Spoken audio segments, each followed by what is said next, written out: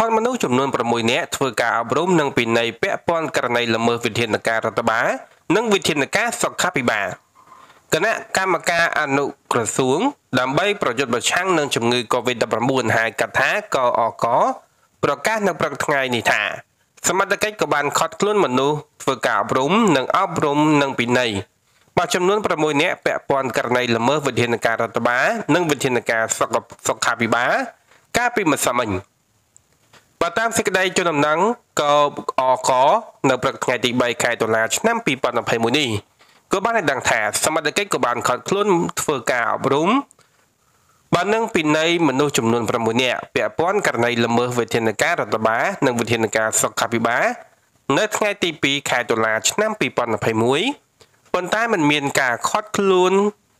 ឬក៏ខត់យានយន្តល្មើសនោះទេ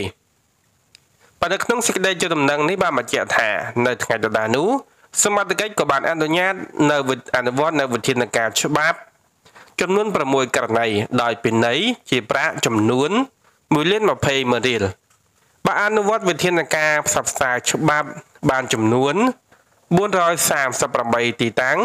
និងធ្វើការអប់រំតាមគោលដៅចរាចរណ៍ផ្លូវគោកចំនួន162នាក់បើធ្វើដំណើរតាមយានយន្ត 97គ្រឿងបាននេះជា